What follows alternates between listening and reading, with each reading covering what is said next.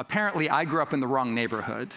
Now, I know this for a fact because of one particularly terrifying evening. Um, my mom, her name is Laura Emily, and us four children, of which I was the oldest, two younger brothers, younger sister, were all just huddled around, cuddling and you know, on the sofa and on the floor and just watching TV.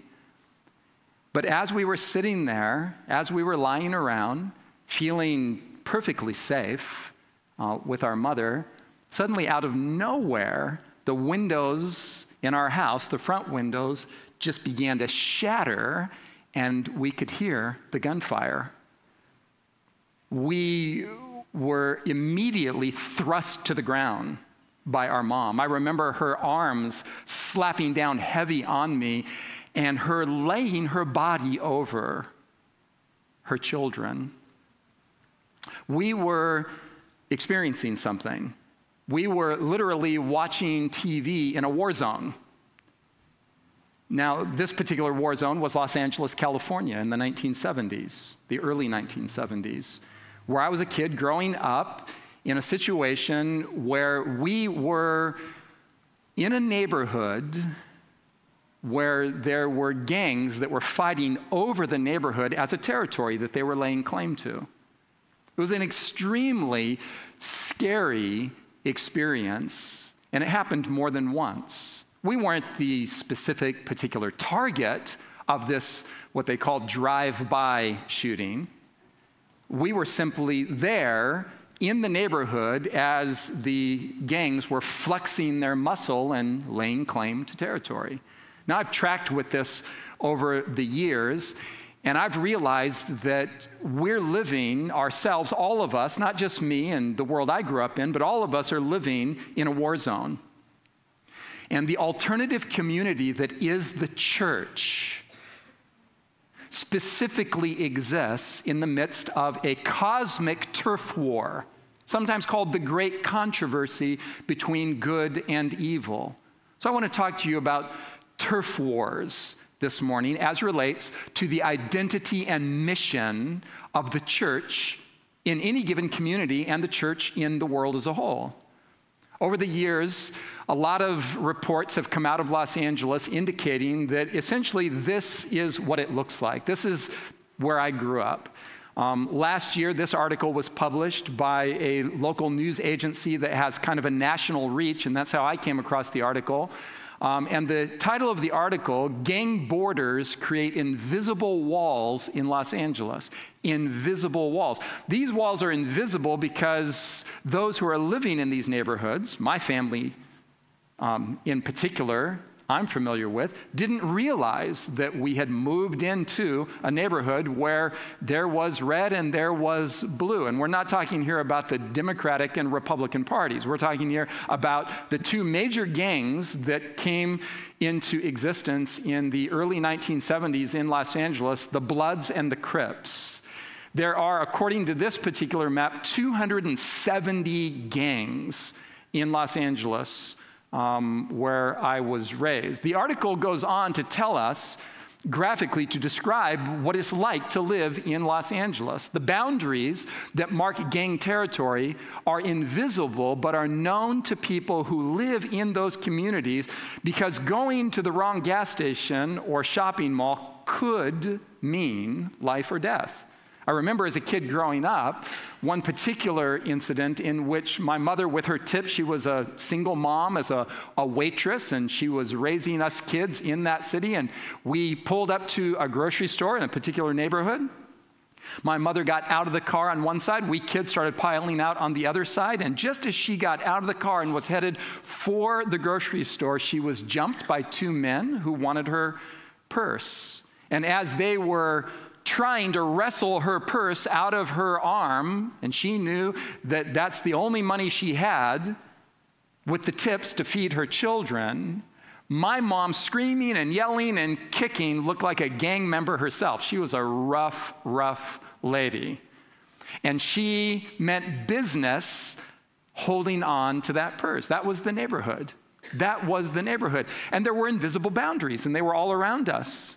And we had to figure out where we could go, where we couldn't go, which stores we could go to, which stores we could not go to, which gas stations we could go to with the higher percentage of chance that we wouldn't be carjacked. This is what the article is describing. In Los Angeles, streets, freeways, train tracks, and the LA River form boundaries, notice the language, boundaries that many of us aren't aware of. These are the boundaries of gang territories. Back in the 1970s through the 90s, just wearing red or blue was contentious. It could have made you a target because those were the primary colors of the two dominant gangs at the time, and still to this day, in fact. The colors were and still are, in some parts of LA, flags of the Crips and Bloods, LA's two dominant gangs. Things have cooled down a bit, but check this out because of gang injunctions and safety zones. In other words, the city has taken action to create safe zones in the city. And, and those who live there, and I grew up there, you began to pay attention to what the police were telling you. Hey, shop in this area, but definitely don't go over there. And safe zones were created. And some of the action has moved off the street and gone online. The Crips and the Bloods have become, and many other gangs now, uh, corporate America in some sense. They've gone corporate, they've gone online and they are companies and they have employees and they have benefit time and vacation time, and it's really gone quite high tech. But there are still certain parts of LA where gang borders form invisible walls that delineate who goes where and who does what. Without clear markings, many LA residents don't even know where the barriers exist. That was us. But these boundary lines are there and they carry a lot of weight for the residents who live there among them. These invisible boundaries, these lines, where are they? Who has control of what neighborhoods and what areas? Those were questions that were foremost on our minds as we were coming up in Los Angeles. So I'm going to suggest to you this morning that we're physical beings that occupy physical space. Well, that's no wonder. That's not rocket science. We know we're physical and we know we're occupying physical space right now. But there are implications to the fact that we are physical beings that occupy physical space. Right out of the gate, the physicality of human nature and planet Earth indicates that we as human beings live in a territorial warfare that's going on, and we are, in fact, territorial beings. We are creatures who are conscious of domains. Your home is a domain, in fact, and you have locks on the doors and on the windows because you feel that this is a place over which you have jurisdiction. You have the ability to exercise control within these four walls of this house in which you live or this piece of property on which you operate. And there's only one law, according to the biblical narrative, one law that allows people to occupy the same territory together without disputing ownership, and that law is the law of love. Now, just think about it for a minute. Human beings who are fallen and self centered are going to engage in land grabs are going to engage in territorial disputes. And this is an integral part of the biblical storyline. Throughout Scripture, we see over and over again that land is extremely important, and land itself is constantly under dispute within Scripture. And ultimately, the earth itself as a whole is under dispute in the larger scheme of the great controversy. Human beings cannot occupy the same space without war unless war is displaced by love.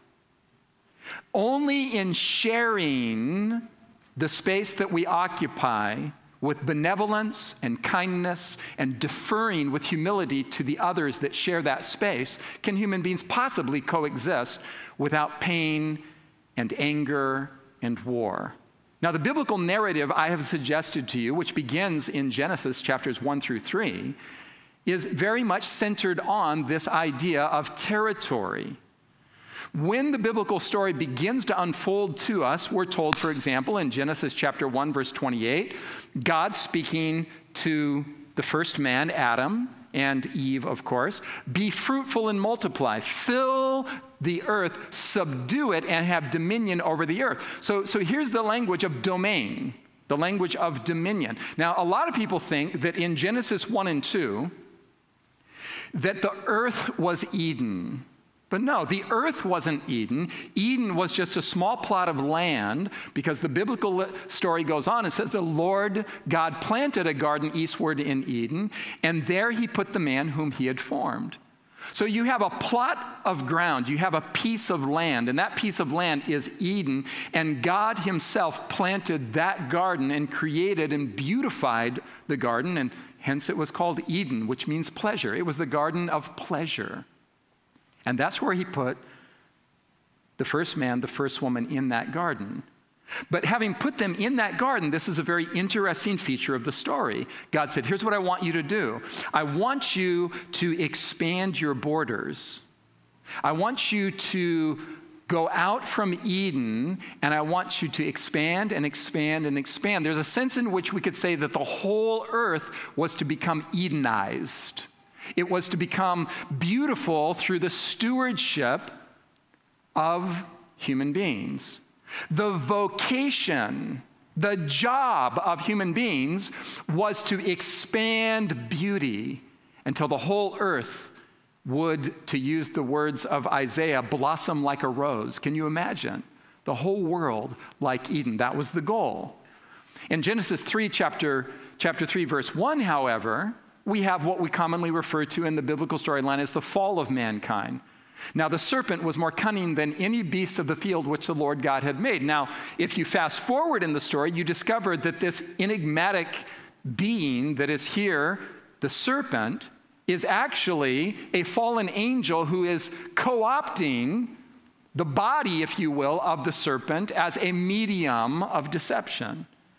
The serpent in the biblical narrative is none other than the devil, the fallen angel, Satan. And he is in this part of the story, he is engaging in a territorial land grab.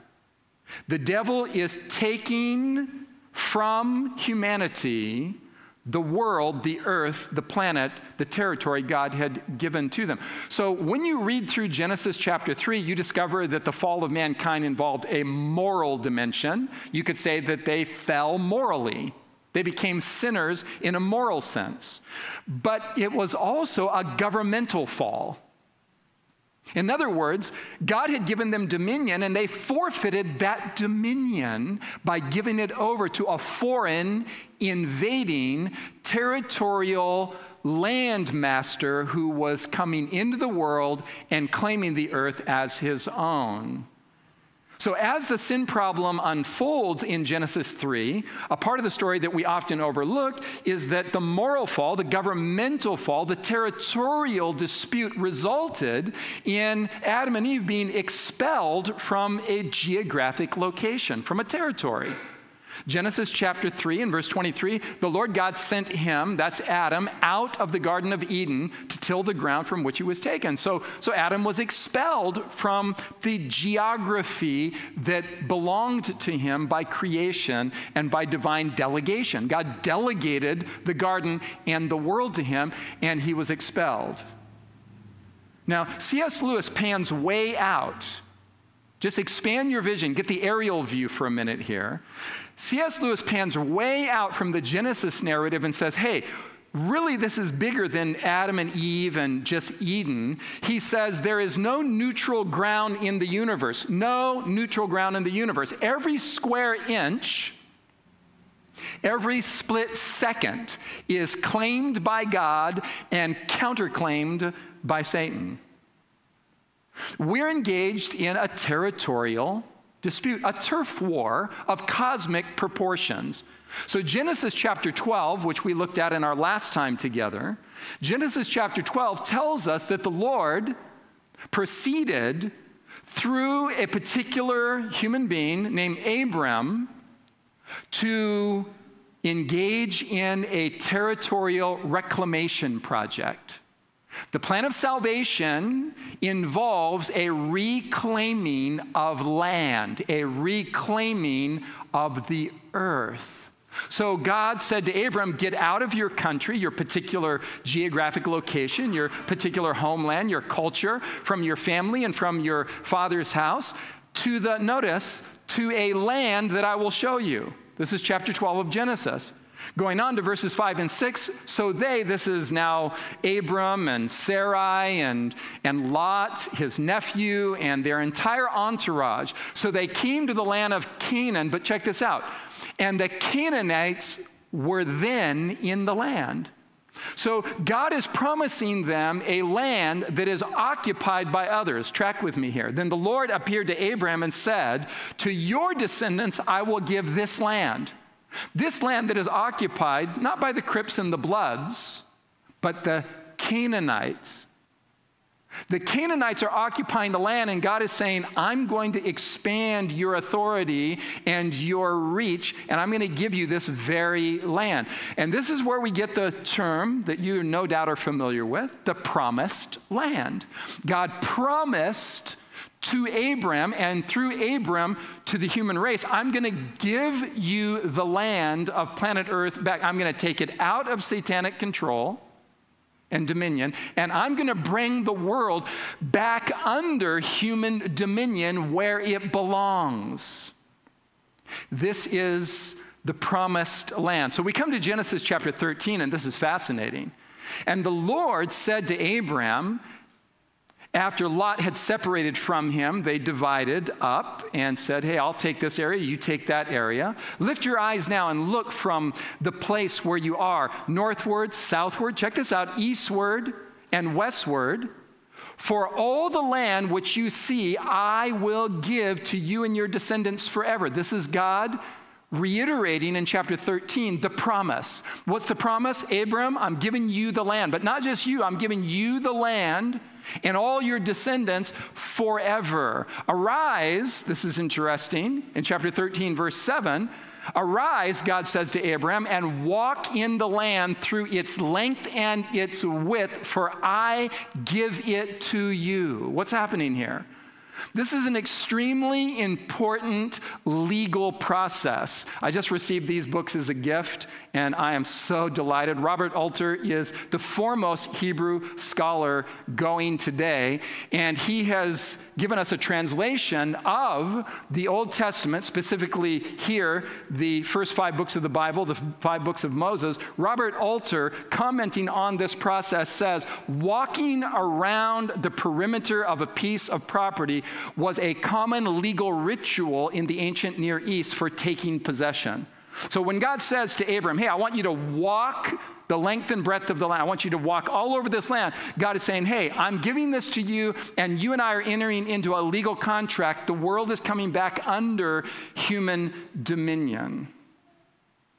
Now, it's interesting that later on in the biblical narrative, the same exact language is used by the devil himself. In Job chapter 1, verses 6 and 7, now there was a day when the sons of God, the representatives of other territories in God's vast universe, came to present themselves before the Lord, and Satan came among them, among these sons of God.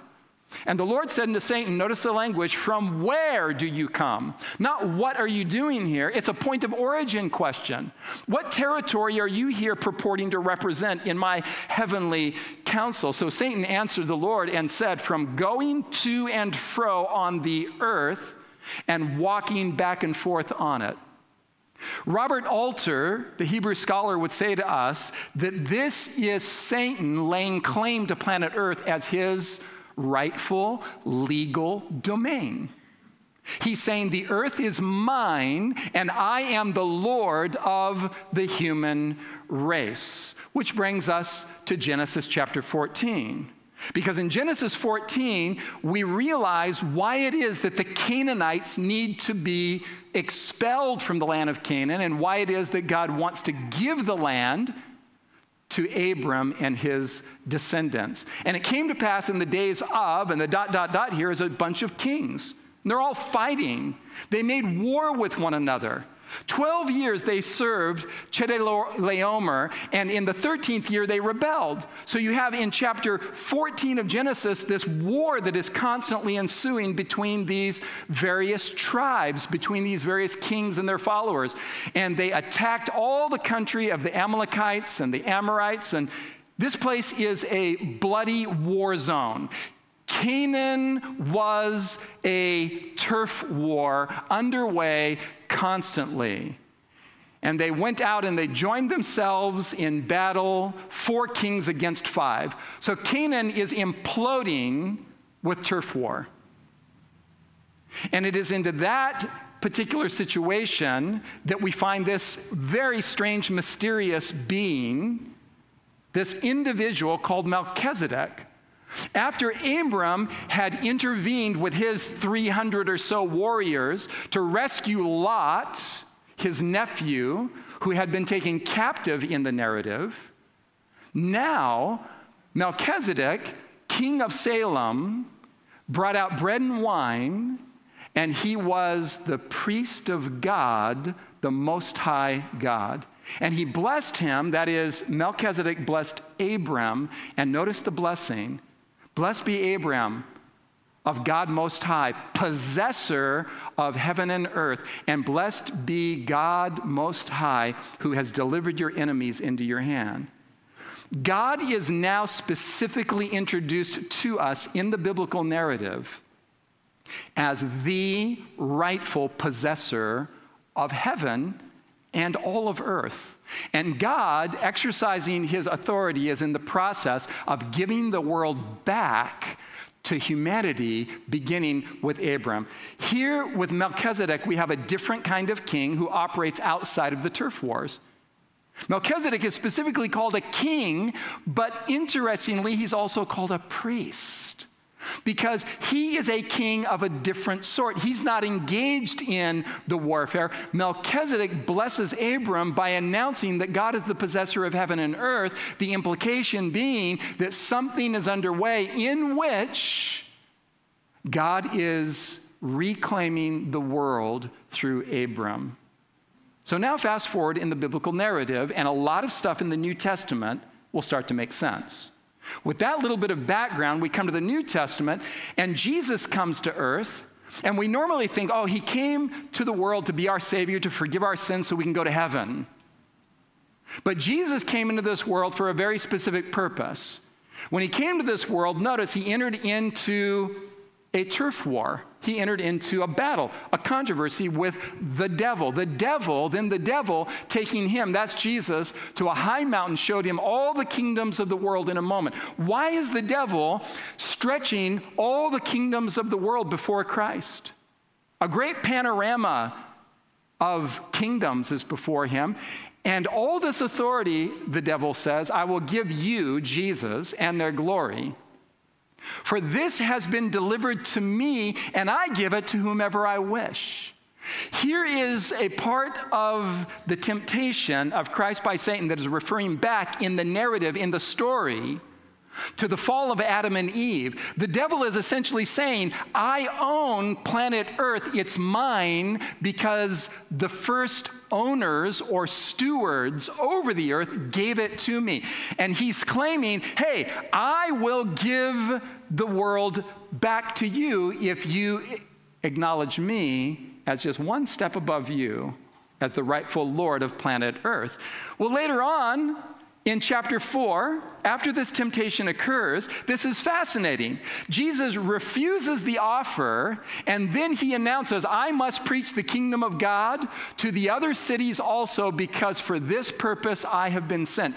Jesus specifically is defining his mission as a mission to advance the kingdom of God in the world by taking cities going in to physical locations where people live and proclaiming the kingdom of God. Whatever city you enter, he says to his disciples, notice he's sending them. He's deploying his disciples. Whatever city you enter and they receive you, eat such things as they set before you, heal the sick, and then say to them, The kingdom of God has come near to you. This is all territorial language. Jesus is here to take back the world. Then the 70 of these followers of Jesus that were sent out preaching the kingdom of God returned with joy, saying, Lord, even the demons are subject to us in your name. The kingdom of Satan is being overturned, it's being toppled by the ministry of Jesus. As they come and proclaim, Jesus follows up and he says, interestingly, in a little parable, in chapter 11, Jesus says, Okay, I'll tell you what's happening right now in my ministry. When a strong man, fully armed, guards his own palace, his goods are in peace. But when a stronger than he comes upon him and overcomes him, he takes from him all his armor in which he trusted and he divides the spoils. Jesus just told a little parable in which he represents Satan as the strong man who has taken control of the world. And Jesus says, But I'm here now, and I'm stronger than he is, and I'm taking the world back, and I'm going to divide the spoils to the human race. This is the great controversy. And then Jesus makes this rather military statement He who is not with me is against me, he says, and he who does not gather with me scatters. This is strong language. Jesus is saying, listen, we need to go out and we need to bring people in. We need to spread the good news of this new kingdom that has come. The gospel commission is, in fact, an advancement of the claims of Christ to ownership of planet Earth. All authority has been given to me in heaven and earth, Jesus says, on the premise of his death on the cross in Matthew 28. Go therefore, that is, in the light of the authority that I have, and make disciples of all nations, baptizing them in the name of the Father and of the Son and of the Holy Spirit. Jesus is essentially saying, I've gained the definitive victory over the kingdom of Satan. I've taken the world back into my possession, and now I'm in the process of redistributing the wealth of earth to my followers. It belongs to you. The gospel commission is a territorial reclamation project. That's what's happening in the biblical narrative. And the church is basically a benevolent gang engaged in a turf war with the powers of darkness. I know you didn't come here today being expected, expecting to be told that you're a part of a gang. You're a part of a benevolent gang there's territory to be claimed, there's turf that's disputed. And that turf falls into five basic categories. Your mind is a territory under dispute. Your body is a territory under dispute. Your city, this city, is a territory under dispute. And your world, my world, our world, is a territory under dispute. What I'm suggesting to you is that we exist here as a church for a reason.